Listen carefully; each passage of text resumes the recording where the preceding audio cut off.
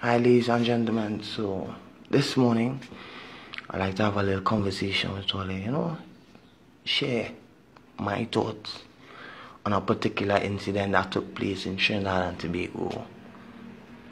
I'm not too sure how long ago. It could be two days, could be one.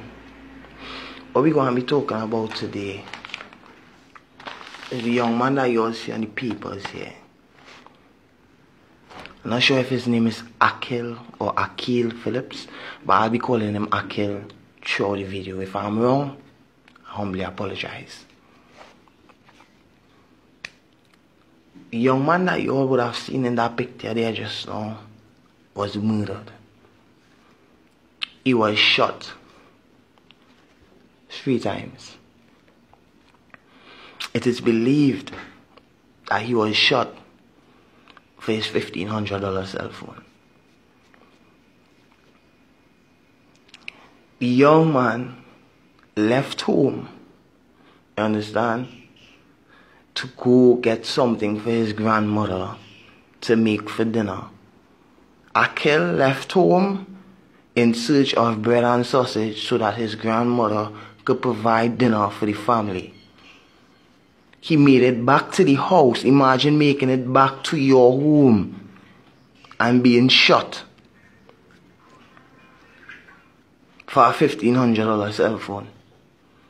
Now we are accustomed, we are accustomed to hearing people say, he know he nothing, he wasn't nothing, this and the other, and we, and we just allow that to go over our heads because we believe to ourselves that just talking shit. This person was involved in something. I could tell you all right now, just by looking, just by the energy that I feel at present, I don't believe this young man was involved in anything that would have deserved that death. This young man was 16 years of age. I have to say was because he's no longer is, he's a was was 16 years of age in Form 3 in St. Anthony's College.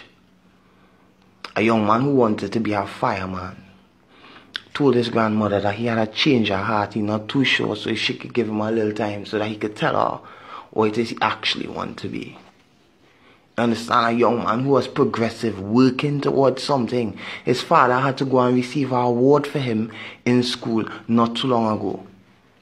A young man with a vision and a plan, an ambition and a goal, who was on his way to achieving his goal, was shot three times for a $1,500 cell phone.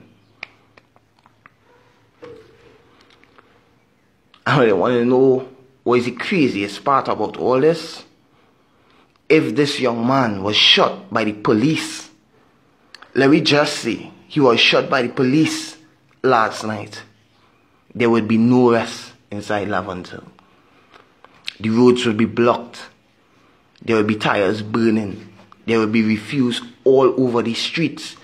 And justice would be called for. We would you would hear that they want justice. You would hear that they, they need somebody needs to be held accountable for this and we ain't taking that just so. A outcry, a serious outcry. This is a young man who was most likely murdered by members of his community. Nobody willing and ready to say anything. Because we protect our own, right? Even if it means that our own is turning an area that could be a decent area into a gutter, into, into a place that nobody wants to be, nobody wants to go. It is okay as long as we protect our own.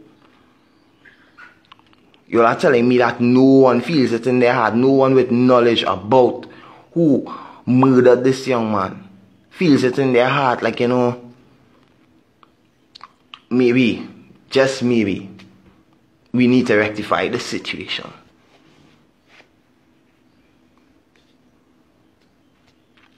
All you do now is self injustice you're doing yourself a great injustice because you are removing the good elements of all the community and allowing the bad to flourish and prosper. so that every time that these areas are looked upon from anyone from the outside, and yes, we are on the outside and we have no idea what takes place in there. Yes, we we have a skewed view. You understand? It's our perception. But it do look good. This do look good. So at what point, at what point are they going to decide that you know what we can't do this? The same way that we want justice when it is the police doing shit is the same way that we want justice for Akil. The same way we go and burn tires for Akil. The same way we're gonna march and we're gonna make noise and we're gonna say like no, somebody had to get grabbed for this or somebody had to pay for this. When are they going to reach that point? I sat down this morning. I sat down this morning, Dread, and I read through the story. And it broke my heart. It really and truly broke my heart.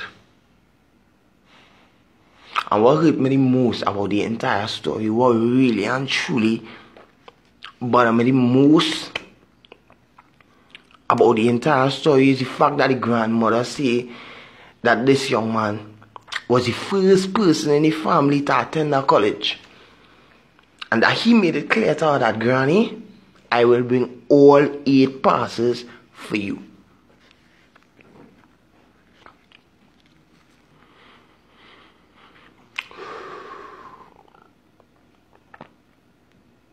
Why, why?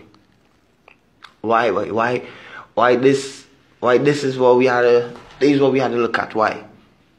Why? Nobody not feeling any way about this. Nobody not feeling no type of way about this trend. That not bother in all the way. I don't even live, I don't even know the young man. And it bothering me. It not bothering all the way. There's only one for yourself, boy.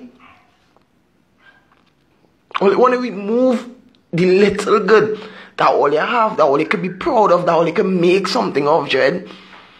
All so want the rest of the country to look down on you, boy.